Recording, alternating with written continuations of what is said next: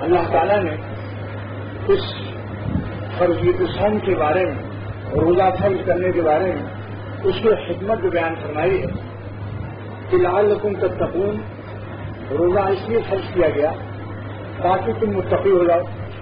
لیکن متقی بننے کی حکمت جو ہے، یہ اس میں حسر نہیں ہے کہ صرف تقواہی عطا فرمانے کے لیے روزہ فرض کیا گیا۔ ان جملہ اور بھی بہت سی اس کے اندر اثرار اور انعامات ہیں۔ اخلاق کی تعدیل مثلاً غصے کا کم کرنا، شہوت کا کم کرنا، پیٹ میں جب کھانا نہیں رہے گا، نفس کو کمزور کرنا۔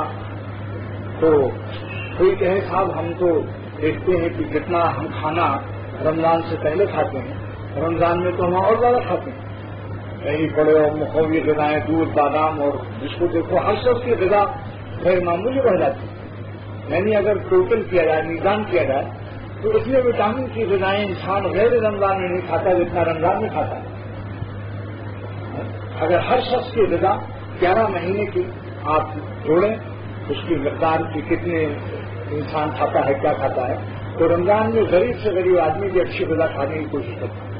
اللہ تعالیٰ کا وعدہ ہے رشتے میں برکت بھی ہو جاتی۔ رمضان شریف میں رشتے میں برکت بھی ہو جاتی۔